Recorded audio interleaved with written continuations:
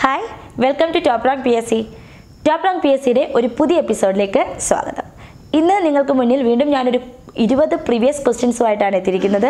കെമിസ്ട്രിയുടെ ഇരുപത് previous questions ഇന്ന് നമുക്ക് ചെക്ക് ചെയ്യാം. അപ്പോൾ അതിനകത്ത് വരുന്ന എക്സ്പ്ലനേഷനും പഠിക്കുമ്പോൾ കുറച്ച് കെമിസ്ട്രി പോർഷൻസ് നമുക്ക് ക്ലിയർ ആവും. വരുന്ന പരീക്ഷകൾക്ക് അത് വളരെ സഹായകവുമാവും. അപ്പോൾ നിങ്ങൾ പിന്നെ തൊട്ട് മുന്നേ ഞാൻ ഫിസിക്സിന്റെ ഇരുപത് ക്വസ്റ്റ്യൻസ് അപ്ലോഡ് ചെയ്തിരുന്നു. അതെല്ലാം പഠിച്ചു കാണുമെന്ന് വിചാരിക്കുന്നു. അപ്പോൾ കെമിസ്ട്രിയുടെ പ്രീവിയസ് ക്വസ്റ്റ്യൻ പാർട്ട് വൺ ആണ് ഇന്ന് ഞാൻ നിങ്ങൾക്ക് മുന്നിൽ എക്സ്പ്ലെയിൻ ചെയ്യാൻ പോകുന്നത്. അപ്പോൾ വീഡിയോ ആദ്യമായി കാണുവാണെന്നുണ്ടെങ്കിൽ സബ്സ്ക്രൈബ് ചെയ്തേക്കുക.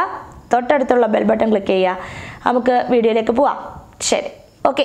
ആദ്യത്തെ question. Who is regarded as father of modern chemistry ആധുനിക രസതന്ത്രത്തിന്റെ പിതാവ് ആരാണ്? ആധുനിക രസതന്ത്രത്തിന്റെ പിതാവായി വിശേഷിപ്പിക്കപ്പെടുന്നത് ലവോസിയർ ആണ് ലവോസിയർ എന്ന് പറയുന്ന ശാസ്ത്രജ്ഞനാണ് ആധുനിക രസതന്ത്രത്തിന്റെ പിതാവ്.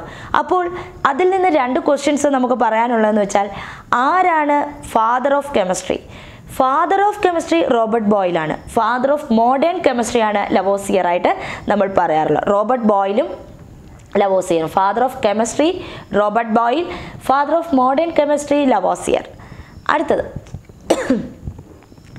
which is not a type of element ഇതിനകത്ത് ഏതാണ് എലമെന്റ് അല്ലാത്തത്? അപ്പോൾ എലമെന്റ് എന്ന് പറഞ്ഞ് നമുക്ക് തരാൻ പറ്റുന്ന metals non metals metalloids metalloids എന്ന് പറഞ്ഞാൽ എന്താണെന്നറിയാമോ? മെറ്റലിന്റെയും നോൺ മെറ്റലിന്റെയും സ്വഭാവം കാണിക്കുന്ന പിന്നെ പദാർത്ഥങ്ങളാണ് മെറ്റലോയിഡ്സ് എന്ന് പറയുന്നത്. Gases which is not a type of elements എന്ന് ക്വസ്റ്റ്യൻ ആൻസർ ഗ്യാസസ് ആണ്. അടുത്തത്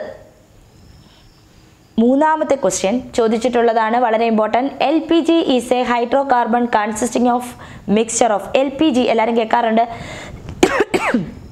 എൽ പി ജി എന്ന് പറയുന്നത് ലിക്വിഫൈഡ് പെട്രോളിയം ഗ്യാസ് നമ്മളുടെ ഗ്യാസ് സിലിണ്ടർ അതിനകത്ത് നിറച്ചിരിക്കുന്ന പിന്നെ മിക്സ്ചർ എന്താണ്? എന്തിന്റെ മിക്സ്ചറാണ് അതിൽ നിറച്ചിരിക്കുന്നത്? ആൻസർ പ്രൊപ്പൈനും ബ്യൂട്ടൈനുമാണ് ഓർഗാനിക് കോമ്പൗണ്ട്സ് ആണ്. പ്രൊപ്പൈൻ ആൻഡ് ബ്യൂട്ടൈൻ അതാണ് എൽ പി ജിയിൽ നിറച്ചിരിക്കുന്നത്. എൽ പി ജിയുടെ full form liquefied petroleum gas which among the following was first human made plastic ഒരു ഹ്യൂമൻ മെയ്ഡ് ആയിട്ടുള്ള മനുഷ്യ മനുഷ്യനിർമ്മിതമായിട്ടുള്ള പ്ലാസ്റ്റിക് ഏതാണ്? ആൻസർ സെല്ലുലോയിഡ് ആണ്. നിങ്ങൾക്കൊരു സംശയം വരാം. ബേക്കലൈറ്റ് ആണോ എന്ന്. അത് ആദ്യത്തെ കൃത്രിമ പിന്നെ പ്ലാസ്റ്റിക് ആണ് ബേക്കലൈറ്റ് എന്ന് പറയുന്നത്. സെല്ലുലോയിഡ് എന്ന് പറഞ്ഞാൽ മനുഷ്യൻ നിർമ്മിച്ചെടുത്ത ഒരു പ്ലാസ്റ്റിക് എന്ന് പറയുന്നത് ആണ്. അടുത്ത ക്വസ്റ്റ്യൻ പറയാം. Which among the following makes chilli saltpetre different from saltpetre എന്താണ് ചില്ലി സാൾട്ട് പീറ്ററും സാൾട്ട് പീറ്ററും തമ്മിലുള്ള വ്യത്യാസം? അപ്പോൾ സാൾട്ട് പീറ്റേഴ്സ് എന്ന് പറയുമ്പോൾ തന്നെ ഒരു നൈട്രേറ്റ് സംയുക്തമാണ് സംഭവം. അതിൽ ചില്ലി സാൾട്ട് പീറ്റർ എന്ന് പറഞ്ഞാൽ സോഡിയത്തിന്റെ നൈട്രേറ്റും വെറും സാൾട്ട് പീറ്റർ എന്ന് പറഞ്ഞാൽ പൊട്ടാസ്യത്തിന്റെ നൈട്രേറ്റുമാണ് അപ്പോൾ നൈട്രേറ്റുകളാണ് സാൾട്ട് പീറ്റേഴ്സിൽ കാണപ്പെടുന്നത് അപ്പോൾ സാൾട്ട് പീറ്റർ എന്ന് പറയുന്നത് പൊട്ടാസ്യം നൈട്രേറ്റും ചിലി സാൾട്ട് പീറ്റർ എന്ന് പറയുന്നത് സോഡിയം നൈട്രേറ്റുമാണ്. അപ്പോൾ അതാണ് അതിന്റെ വ്യത്യാസം. അടുത്ത നമുക്ക് പോവാം. അടുത്തത് most abundant in the universe gas ആണ് ഉദ്ദേശിക്കുന്നത്. Most gas abundant in the universe മൂലകം. ഏറ്റവും കൂടുതൽ യൂണിവേഴ്സിൽ കാണപ്പെടുന്ന ഏറ്റവും കൂടുതൽ കാണപ്പെടുന്ന മൂലകം അല്ലെങ്കിൽ വാതകം ഏതാണ്? അത് ഹൈഡ്രജൻ ആണ്. അപ്പോൾ അതിനകത്ത് നിന്ന് നമുക്ക് ഡിഫറന്റ് ആയിട്ട് പഠിക്കാനുള്ളത്. ഏറ്റവും കൂടുതൽ യൂണിവേഴ്സിൽ കാണപ്പെടുന്നത് ഹൈഡ്രജൻ ആണെങ്കിൽ എർത്തിന്റെ ക്രസ്റ്റിൽ ഏറ്റവും കൂടുതൽ കാണപ്പെടുന്നത് ഓക്സിജൻ ആണ്. അതേപോലെ തന്നെ പിന്നെ ഹ്യൂമൻ ബോഡിയിൽ ഏറ്റവും കൂടുതൽ കാണപ്പെടുന്നത് ഓക്സിജൻ ആണ്.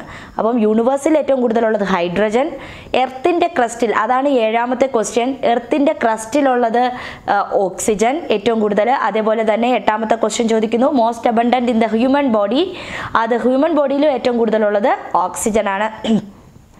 അന്നേരം നമുക്ക് വരാവുന്ന മറ്റൊരു ക്വസ്റ്റ്യൻ എന്ന് പറയുന്നത് അറ്റ്മോസ്ഫിയറിൽ ഏറ്റവും കൂടുതലുള്ളത് എന്ത്? അത് നൈട്രജൻ ആണ്. അപ്പോൾ യൂണിവേഴ്സിലുള്ളത് ഹൈഡ്രജൻ എർത്ത് ക്രസ്റ്റിലുള്ളത് ഓക്സിജൻ അന്തരീക്ഷത്തിലുള്ളത് നൈട്രജൻ എഴുപത്തി എട്ട് ശതമാനത്തോളം നൈട്രജൻ ആണ് അന്തരീക്ഷത്തിൽ ഉള്ളത്. അപ്പോൾ ആ എട്ട് ക്വസ്റ്റ്യൻ ആറ് ഏഴ് എട്ട് അത് മൂന്നും ആ ക്വസ്റ്റ്യൻ ആണ്. അടുത്തത് മോസ്റ്റ് ഡക്റ്റൈൽ എലമെന്റ് എന്ന് ചോദിച്ചാൽ ഗോൾഡാണ് ആൻസർ കിങ് ഓഫ് മെറ്റൽ എന്നാണ് ഗോൾഡ് അറിയപ്പെടുന്നത്. മെറ്റലുകളുടെ രാജാവ് എന്നറിയപ്പെടുന്നത് ഗോൾഡാണ് ഗോൾഡിന്റെ പ്രത്യേകത എന്ന് പറഞ്ഞു കഴിഞ്ഞാൽ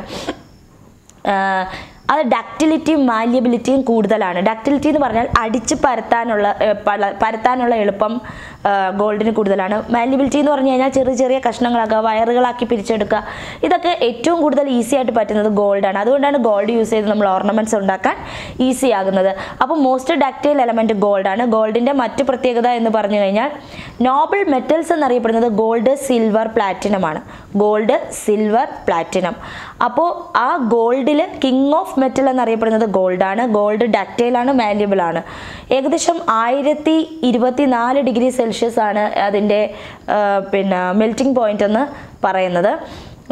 ഗോൾഡ് അപ്പോൾ മോസ്റ്റ് ഡക്റ്റൈൽ എലമെന്റ് ഏതാണെന്ന് ചോദിച്ചാൽ ഗോൾഡ് എഴുതണം. നോബിൾ മെറ്റൽസിനകത്ത് പെടുന്നതാണ് പിന്നെ എന്താണ് ഗോൾഡ് എന്ന് പറയുന്നത്. നോബിൾ മെറ്റൽസ് ആണ് ഗോൾഡ് സിൽവർ പ്ലാറ്റിനം അടുത്തത് most abundant metallic element in the human body അപ്പോൾ ഞാൻ പറഞ്ഞു ഹ്യൂമൻ ബോഡിയിൽ ഏറ്റവും കൂടുതലുള്ളത് ഓക്സിജനാണ് അപ്പോൾ ഏറ്റവും കൂടുതൽ ഉള്ള മെറ്റൽ എന്താണെന്ന് ചോദിച്ചാൽ ഏറ്റവും കൂടുതലുള്ള മൂലകമാണ് ഓക്സിജൻ ഏറ്റവും കൂടുതലുള്ള മെറ്റൽ ഏതാണെന്ന് ചോദിച്ചാൽ ആൻസർ കാൽസ്യമാണ് കാൽസ്യം എന്ന് പറയുമ്പോൾ നമ്മുടെ ബോണുകളിൽ എല്ലുകളിൽ കാണപ്പെടുന്ന സംയുക്തമാണ് കാൽസ്യം ഫോസ്ഫേറ്റ് അപ്പോൾ എല്ലുകളിൽ ഏറ്റവും കൂടുതലുള്ളതും കാൽസ്യത്തിന്റെ സംയുക്തമാണ് കാൽസ്യം ഫോസ്ഫേറ്റ് അപ്പം ബോ ഹ്യൂമൻ ബോഡിയിലുള്ളത് ഉള്ള മൂലകം ഏറ്റവും കൂടുതലുള്ളത് ഓക്സിജൻ ഏറ്റവും കൂടുതലുള്ള മെറ്റൽ കാൽസ്യം ബോണുകളിൽ കാണപ്പെടുന്നത് കാൽസ്യം ഫോസ്ഫേറ്റ് ആ അടുത്ത ക്വസ്റ്റ്യൻ ഞാൻ പറഞ്ഞ ക്വസ്റ്റ്യൻ ആണ്. Most abundant in the earth atmosphere abundant earth അറ്റ്മോസ്ഫിയറിലുള്ള gas അല്ലെങ്കിൽ മൂലകം എന്താണ്?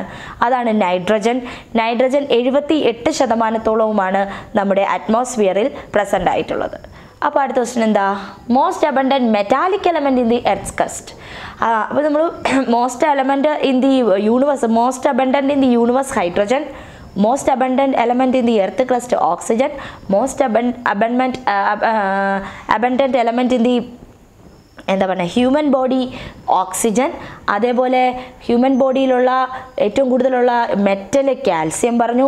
ഇനി ഇതാ അടുത്ത വരുന്നു. Most abundant metallic element in the earth crust അത് അലൂമിനിയമാണ് എർത്ത് ക്രസ്റ്റിലുള്ള കൂടുതലുള്ള മെറ്റാലിക് എലമെന്റ് ഏതാണെന്ന് ചോദിച്ചാൽ അത് അലൂമിനിയമാണ് അടുത്തത് എന്താണ്? Lowest melting and boiling point ഉള്ള എലമെന്റ് ഏതാണ്? മോ lowest melting and boiling point ഉള്ള എലമെന്റ് ആണ് ഹീലിയം രണ്ടാമത്തെ പീരിയോഡിക് ടേബിളിൽ രണ്ടാമത്തെ എലമെന്റ് ആണ് ഹീലിയം നോബിൾ ഗ്യാസസ് അല്ലെങ്കിൽ ഇനർട്ട് ഗ്യാസസ് മലയാളത്തിൽ അലസവാതകങ്ങളിൽ വരുന്ന ഗ്രൂപ്പിൽ ഏറ്റവും ആദ്യം വരുന്നതാണ് helium helium neon argon krypton radon xenon xenon radon നമ്മൾ പറയാറുണ്ടല്ലോ. അതാണ് അലസവാതകങ്ങൾ. രാസപ്രവർത്തനത്തിൽ പങ്കെടുക്കാത്ത വാതകങ്ങളാണ് അലസവാതകങ്ങൾ. അതിൽ ആദ്യം വരുന്നതാണ് ഹീലിയം. ഹീലിയത്തിന്റെ അറ്റോമിക് നമ്പർ രണ്ടാണ്. അതുപോലെ സൂര്യനിൽ ഏറ്റവും കൂടുതലുള്ളതും ഹീലിയമാണ്. അടുത്തത് rarest in the earth atmosphere ആ എർത്തിന്റെ നമ്മൾ ഇത്രയും അബൻഡന്റ് പറഞ്ഞു. അതേപോലെ ഏറ്റവും കുറവ് അല്ലെങ്കിൽ റെയർ ആയിട്ടുള്ള ഒരു എലമെന്റ് ആണ് റേഡോൺ റേഡോൺ എന്ന് പറഞ്ഞു കഴിഞ്ഞാൽ റേഡോൺ ഒരു റേഡിയോ ആക്റ്റീവ് വാതകമാണ്. റേഡിയോ ആക്റ്റീവ് വാതക രൂപത്തിലുള്ള റേഡിയോ ആക്റ്റീവ് മൂലകമാണ് റേഡോൺ എന്ന് പറയുന്നത്. അതും ഒരു ക്വസ്റ്റ്യൻ ആണ്. ഞാൻ പറഞ്ഞു അലസവാതകങ്ങളുടെ ഗ്രൂപ്പിൽ വരുന്നതാണ് radon inert gas noble gas അലസവാതകങ്ങൾ എന്നിങ്ങനെയാണ് നമ്മൾ അതിന് പറയപ്പെടുന്ന ഡിഫറെന്റ് പേരുകൾ. അതിൽ റാഡോൺ എന്ന് പറയുന്നത് എർത്തിന്റെ ക്രസ്റ്റിൽ വളരെ റെയർ ആയിട്ടുള്ള ഒരു എലമെന്റ് ആണ് റാഡോൺ എന്ന് പറയുന്നത്. Lightest gas at S T P S T P എന്ന് പറഞ്ഞാൽ standard temperature and pressure standard temperature and പ്രഷറിൽ എന്ന് പറഞ്ഞാൽ ഇരുന്നൂറ്റി എഴുപത്തി മൂന്ന് കെൽ പോയിന്റ് ഒന്ന് അഞ്ച് കെൽവിനിലും ഒരു അറ്റ്മോസ്ഫിയറിക് പ്രഷറിലും എടുത്തു വെച്ച് കഴിഞ്ഞാൽ ആ ആ കണ്ടീഷനിൽ ഏറ്റവും ലൈറ്റസ്റ്റ് ആയിട്ടുള്ള ഗ്യാസ് ഏതാണ്? അതാണ് ക്വസ്റ്റ്യൻ അതിന്റെ ആൻസർ ഹൈഡ്രജൻ ആണ്. ഹൈഡ്രജൻ ആണ് ഏറ്റവും ലൈറ്റസ്റ്റ് ആയിട്ടുള്ള ഗ്യാസ് അടുത്ത എന്താണ്? ഞാൻ മുമ്പേ പറഞ്ഞു heaviest gas at standard temperature pressure heaviest gas അത് റാഡോൺ തന്നെയാണ്. എസ് ടി പിയിലുള്ള ഹെവിയസ്റ്റ് റാഡോൺ ആണ്.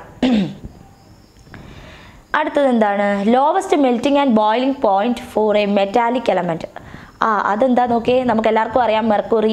മെർക്കുറിയെ പറ്റി ദ്രാവക രൂപത്തിലുള്ള ഒരേ ഒരു മെറ്റലാണ് മെർക്കുറി. ട്രാൻസിഷൻ എലമെൻസിൽ വരുന്നതാണ് ട്രാൻസിഷൻ എലമെൻസിനകത്തുള്ള പിന്നെ എലമെന്റാണ് മെർക്കുറി എന്ന് പറയുന്നത്. ഏറ്റവും കുറവ് melting point minus thirty nine ഡിഗ്രിയാണ് മെൽറ്റിംഗ് പോയിന്റ് ബോയിലിംഗ് പോയിന്റ് ഉള്ളത്. മെർക്കുറിക്കാണ്. ദ്രാവക രൂപത്തിലുള്ള ലോഹം എന്നറിയപ്പെടുന്നത് മെർക്കുറിയാണ്. അപ്പോൾ നമ്മുടെ തെർമോമീറ്റേഴ്സിലൊക്കെ യൂസ് ചെയ്യുന്നത് മെർക്കുറിയാണ്. അപ്പോൾ lowest melting and boiling point ഉള്ള മെറ്റാലിക് എലമെന്റ് ഏതാണെന്ന് ചോദിച്ചാൽ മെർക്കുറി തന്നെ എഴുതണം. അടുത്തത് എന്താ highest thermal expansion at room temperature room ടെമ്പറേച്ചറിൽ ഏറ്റവും കൂടുതൽ എക്സ്പാൻഡ് ചെയ്യാൻ കഴിവുള്ള മൂലകമാണ് സി സി എം അപ്പോൾ സി സി എം ഫ്രാൻസി എല്ലാം കേട്ടിട്ടുണ്ടാവുമല്ലോ? പിന്നെ ആ ഒരു ഗ്രൂപ്പിൽ വരുന്ന സി സി എം ആണ് ഏറ്റവും എക്സ്പാൻഡ് ചെയ്യാൻ കഴിയുന്ന ഏറ്റവും വലിയ മൂലക എക്സ്പാൻഡ് ചെയ്യാൻ കഴിയപ്പെടുന്ന ഏറ്റവും ഹയസ്റ്റ് ആയിട്ടുള്ള തെർമൽ എക്സ്പാൻഷൻ ഉള്ള ഒരു മൂലകമാണ് സി സി എം അപ്പോൾ ലോവസ്റ്റ് തെർമൽ എക്സ്പാൻഷൻ എന്താണ്? അത് ഡയമണ്ട് ആണ്. ഡയമണ്ട് എല്ലാവർക്കും അറിയാം. കാർബണിന്റെ ഒരു അലോട്രോപ്പാണ് ഡയമണ്ട് എന്ന് പറയുന്നത്. അതിനകത്തുള്ള ആ ഡയമണ്ട് അത്രയും തിളങ്ങാനുള്ള പ്രോസസ്സ് അല്ലെങ്കിൽ ആ പ്രിൻസിപ്പിൾ എന്ന് പറയുന്നത് ടോട്ടൽ ഇന്റേണൽ റിഫ്ലക്ഷൻ എന്ന് പറയുന്ന പ്രോസസ്സാണ്. ടോട്ടൽ ഇന്റേർണൽ റിഫ്ലക്ഷൻ അല്ലെങ്കിൽ പൂർണാന്തര പ്രതിഫലനം എന്ന് പറയുന്ന പ്രതിഭാസമാണ് ഡയമണ്ടിന്റെ തിളക്കത്തിന് കാരണം. കാർബണിന്റെ ഒരു അലോട്രോപ്പാണ് ഡയമണ്ട് എന്ന് പറയുന്നത്. വളരെ ഏറ്റവും ഹാർഡസ്റ്റ് ആയിട്ടുള്ള വസ്തു ഏതാണ്? ലോകത്തിലേക്ക് വെച്ച് ഏറ്റവും ഹാർഡസ്റ്റ് ആയിട്ടുള്ള വസ്തു ഏതാണെന്ന് ചോദിച്ചാൽ ആൻസറും ഡയമണ്ട് ആണ്. അതാണ് അടുത്ത ക്വസ്റ്റ്യൻ ഹാർഡസ്റ്റ് നോൺ സബ്സ്റ്റൻസ് എന്ന് ചോദിച്ചു കഴിഞ്ഞാൽ ഡയമണ്ട് ആണ് ആൻസർ വരുന്നത്. അപ്പോൾ ഇരുപത് ക്വസ്റ്റ്യൻസ് ആണ് ഇന്ന് നമ്മൾ ഡിസ്കസ് ചെയ്തത്. ഇതിനകത്ത് ഓരോ എലമെന്റിനെ പറ്റി ഇനിയും നമ്മൾ പഠിക്കാനുണ്ട്. വരും വീഡിയോകളിൽ പ്രീവിയസ് ക്വസ്റ്റ്യനോടൊപ്പം തന്നെ ആ എക്സ്പ്ലനേഷൻസും പ്രീവിയസ്ലി ചോദിക്കുന്ന ക്വസ്റ്റ്യൻസും ചോദിച്ചിരുന്ന ക്വസ്റ്റ്യൻസും ഞാൻ പറയുന്നതായിരിക്കും. അപ്പോൾ ഇതിനകത്ത് എന്തെങ്കിലും ഡൗട്ടുകൾ ഉണ്ടെങ്കിൽ ചോദിക്കാം കമന്റ് ചെയ്യാം സജഷൻസ് കമന്റ് ചെയ്യാം. നിങ്ങൾക്ക് എന്തെങ്കിലും സബ്ജക്റ്റുകൾ വൈസ് നിങ്ങൾക്ക് ക്ലാസ്സസ് ആവശ്യമുണ്ടെങ്കിൽ നിങ്ങൾക്ക് പ്ലേലിസ്റ്റിൽ പോയി കഴിഞ്ഞാൽ സബ്ജക്റ്റ് വൈസ് പിന്നെ ക്ലാസ്സസുകൾ അവിടെ ഞങ്ങൾ അപ്ലോഡ് ചെയ്തിട്ടുണ്ട്. അപ്പോൾ നമ്മൾ അപ്ലോഡ് ചെയ്തതെല്ലാം സബ്ജക്റ്റ് വൈസിൽ അവിടെ കിടപ്പുണ്ട്. അപ്പോൾ എടുക്കാനും ആക്സസ് ചെയ്യാനും എളുപ്പമായിരിക്കും. അപ്പോൾ അങ്ങനെ ചെയ്യുക. അപ്പോൾ ഇന്നത്തേക്ക് തൽക്കാലം വൈൻഡപ്പ് ചെയ്യുന്നു. അടുത്ത വീഡിയോയുമായി കാണുന്നത് വരെ ബൈ